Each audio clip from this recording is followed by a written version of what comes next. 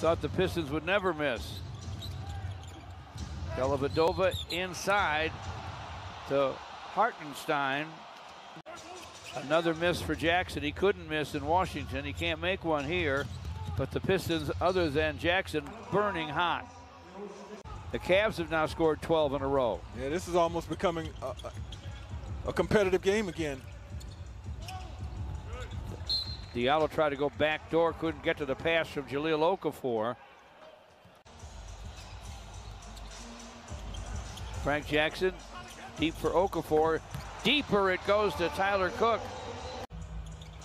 48-37 Pistons. Okafor double teamed, scores anyway. Well, it's nice to have an offhand. Bouncing inside for Okafor against Jarrett Allen. Okafor with all that strength couldn't score it. Cavaliers are doing a nice job of finding love every time there's a piston switch and a guard or a smaller player is on love. Okafor.